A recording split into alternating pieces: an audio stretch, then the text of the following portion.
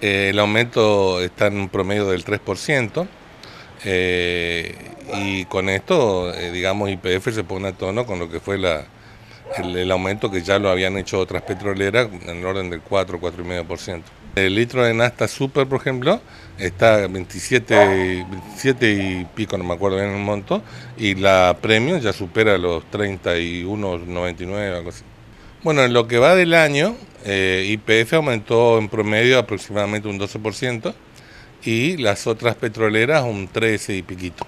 Eso es en lo que va de estos meses del año, ¿no? Sí, la, demanda en realidad no, no, baja, ¿no es cierto? O sea, la gente, el que dispone de un auto, sigue cargando porque en realidad eh, el impacto, digamos, si bien eh, repercute en toda la economía, el impacto directo por ahí no es tan grande, digamos, ¿no?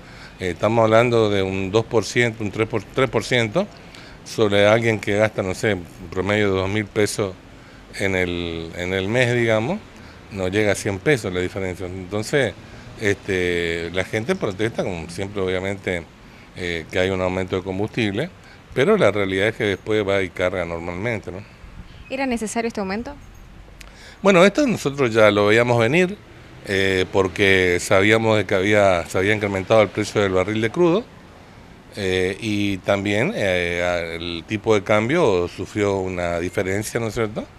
Eh, de superior en realidad porcentualmente a lo que fue el aumento del combustible. Eh, y también se agregó además el aumento del precio de los biocombustibles que dispuso el gobierno, este, que también tiene incidencia sobre el precio, el precio final del, combustible. ¿no? Según lo que dicen los consumidores, ellos antes sí se cargaba el tanque entero. Hoy no se carga. ¿Cómo se ven eh, ustedes? ¿Ven esta diferencia?